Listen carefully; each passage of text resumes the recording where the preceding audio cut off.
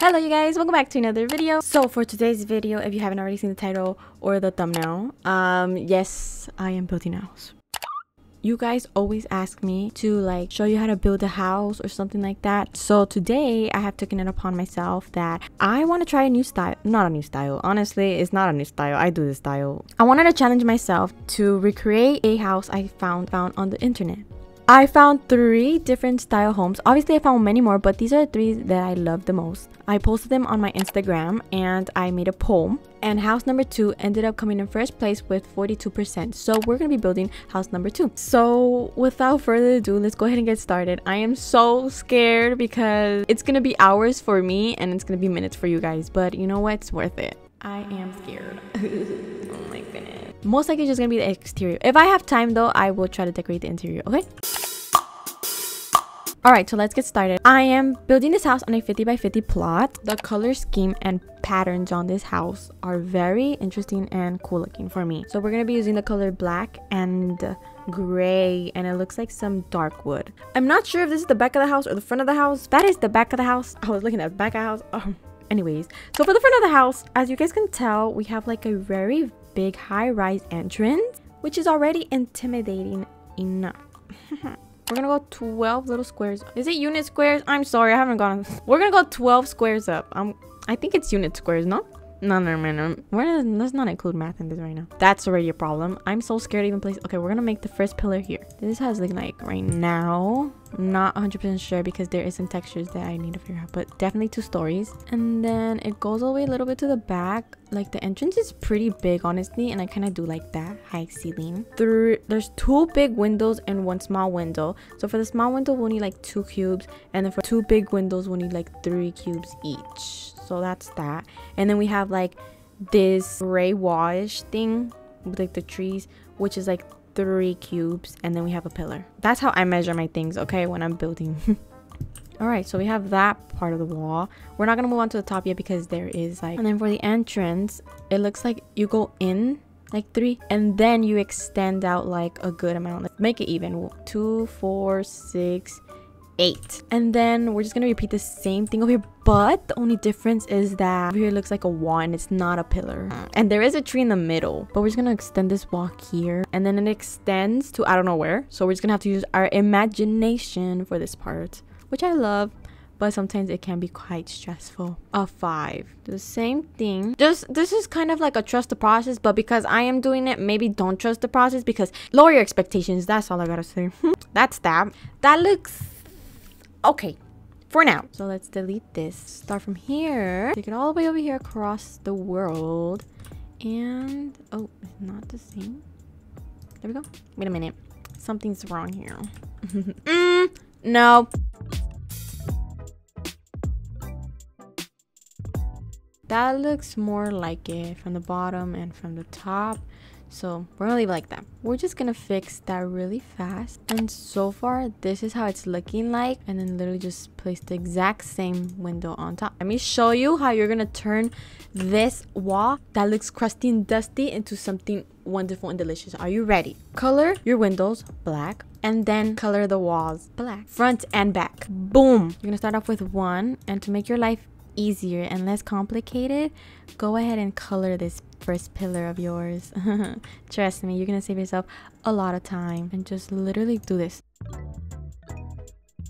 I finished with the wall and I just realized that it's not the entire wall, but I mean, you can make it the entire wall if you really wanted to. This is my favorite part where you can mix colors. Look, not mix them, like mix them, but paint random ones to look that color. Not all of them, but just random ones. And just paint those two like that. I'm not gonna lie, that was the first time I ever tried that. But honestly, it works pretty good. Back of this wall, just color it the basic color that you normally use. That the first color you use for the first pillar. For the window and doors, all I did was the exact same thing I did for these windows. Right here, lighting just really depends on how much light you want. If you want a lot of lighting or a little bit of lighting. So this part is up to you.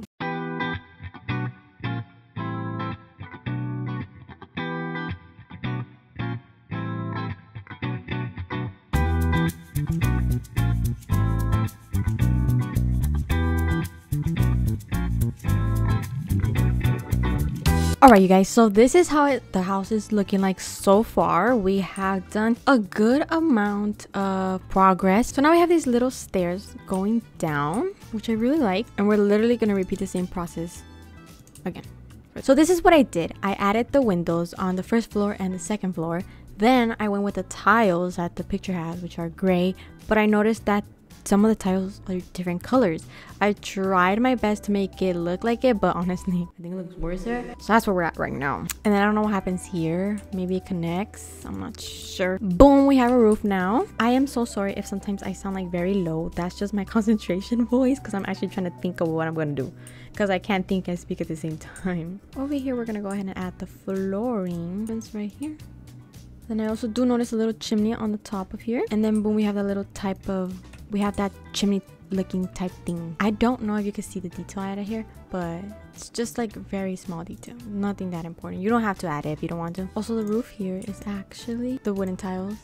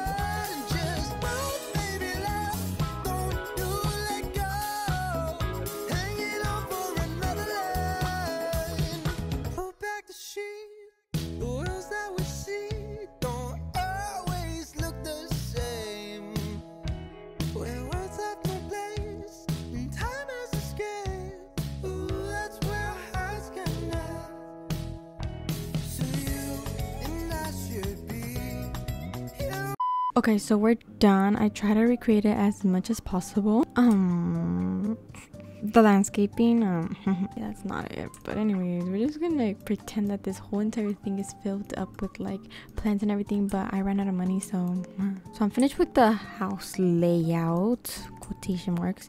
This is how it's looking like. I do not hate it. I don't hate it. I actually do not hate it. I actually quite love it. Um I didn't expect it to turn out like this. I say it turned out better than my expectations. Of course, the inside I'm not gonna finish because I've been working on this house for like three hours already and um, I'm pretty tired. The backyard, so decorated. Like wow, can you get? I gave up on the backyard. It was just gonna be so much, but with landscaping and stuff like that, this will look beautiful. Trust me. And then you go up these little stairs and you can have like a little cooking station or like grill station you know type thing outdoor station and over here is like a little relaxing station. Let me know if you guys want to see me decorate this house. I would definitely be willing to.